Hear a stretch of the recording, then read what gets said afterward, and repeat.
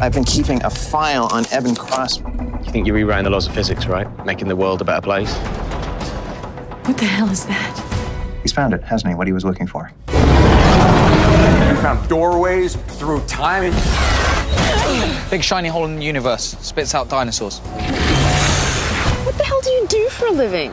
We hunt dinosaurs. Whatever did this could be coming for us next.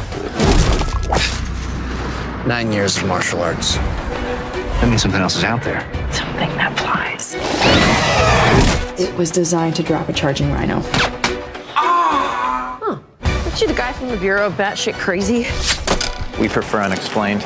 The creatures are the loose threads. You pull the wrong one, history unravels. Mac, the boy summoned near the nest.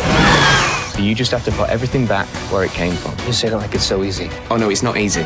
Not even a little bit.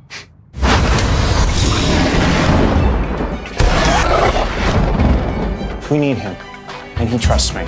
This doesn't make us friends. Uh, I'm here to help. Shut up! Is there some sort of protocol I should know about? We only have one protocol. Find it before it finds you. People are dead. You keep this up, it's only a matter of time until. To what? They killed your girlfriend. They also killed my wife. I can't just walk away from this. You start messing with this stuff and it gets very bad, very fast. These things just got a whole lot scarier. Oh my god, it's following us!